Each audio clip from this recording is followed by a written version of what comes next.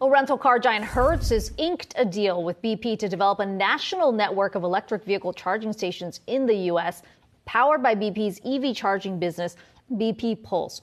Hertz CEO Stephen Scherr joins us now to discuss the very latest alongside Yahoo Finance's Brian Sozzi. Uh, Stephen, great to talk to you. You have been moving very aggressively in expanding your EV fleet here. Tell me how this deal puts you in the position to reach that goal of 25% EVs by 2024. Well, thank you, and uh, thanks for having me. You, have seen us make announcements over the last several months around uh, electric vehicles that we are purchasing, whether it was Tesla, Polestar, General Motors. Uh, but now we're focused with this announcement on the infrastructure that's needed to really run this. And our ambition here is to partner with BP and eventually others to create a, uh, a, nationwide network in the United States where our customers will have seamless ability without any anxiety uh, to get a charge on their car when and where they need. And it'll be seamless billing across. So Hertz will put its customers in a place where they can be indifferent to the network they use. We'll tie these together and make this a really seamless experience. Stephen, I think the last time we talked with you, you just inked the deal with the team over at Polestar. Uh, the Tesla deal now in place, just inked a deal with, with General Motors too. How many electric cars are in the fleet currently? And let's say a year from now, how many will you have? Well, we're at about 5% of our fleet right now uh, that is electric. And our ambition is by the end of 2024 uh, to be at about 25%, so a quarter of our fleet.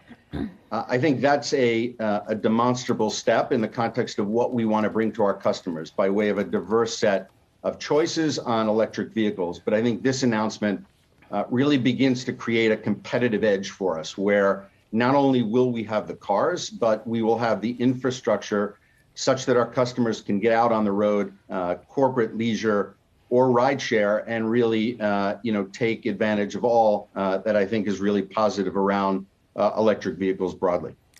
Stephen, I'm curious about the demand uh, for these uh, electric vehicles, for renting them, because I will tell you, back in May, I rented from Hertz, and I had the choice of renting a Tesla or a gas powered car. I was going to Philadelphia for my uh, college reunion, and it turns out that I went with a gas powered car, even though the price was pretty comparable, uh, because I was afraid of not having a charging station when I got to Philly.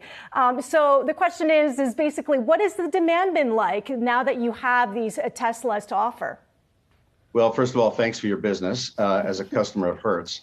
Uh, demand has been very, very solid. And remember, we're seeing demand not just among leisure travelers, but also among corporate travelers, where in fact corporations want their employees in an electric vehicle to satisfy some of their own carbon footprint objectives.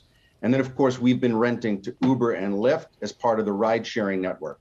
So demand across all three has been very strong you were obviously fortunate at a moment in the market when, in fact, uh, pricing was indifferent as between the two. But now, given demand, we are getting premium pricing on electric vehicles.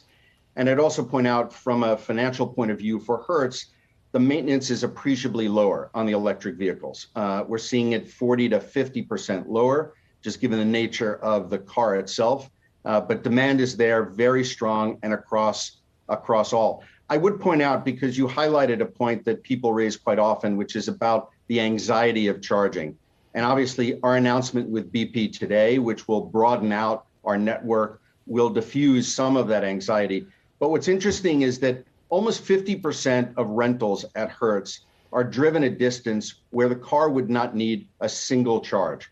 And so I think the anxiety is understood, but it's early, it will dissipate and what we're doing with uh, with BP will further uh, help that effort. Uh, Stephen, you mentioned the maintenance costs for EVs certainly going to be lower, but there's also the question about what this means from an electricity cost standpoint.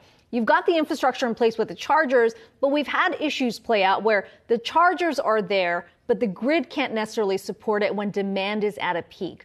What does that mm-hmm. planning look like as you move towards that target of 2024?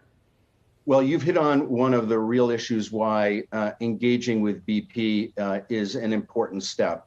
Not only are they going to build charging stations, mostly fast chargers, on our facilities, uh, but we are going to use their energy management tools and software to sort of overcome exactly what it is that you're talking about, which is we know demand, we know where the cars are going, they have an ability to manage the electric uh, grid and the direction and consumption uh, of, of electricity in the context of charging. And I think that's a very powerful combination. And your question comes right at it, which is this is not just about the physical infrastructure, it's about the ability of BP and ourselves to manage uh, you know, where, where cars can be charged based on what's available on the grid you know, across, the, uh, across the network. So, Stephen, a strong demand for Tesla electric vehicles. Ines is still searching maybe around for her next rental vehicle. I, I, she will find it, I'm sure. But what are you seeing in terms of holiday bookings? Uh, we're just a few minutes from, from, I would say, peak season in many respects for, for a business sure. like yours. Yeah.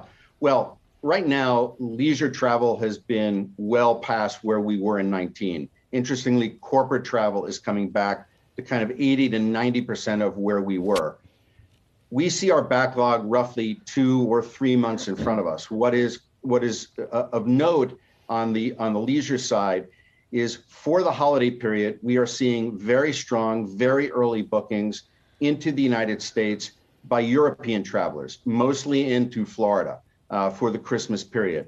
And that's running at about 2x what it was this time last year. And so bookings have been positive, uh, you know, out through uh, the next couple of months but equally to your question, in through the holiday period where it's proving quite strong.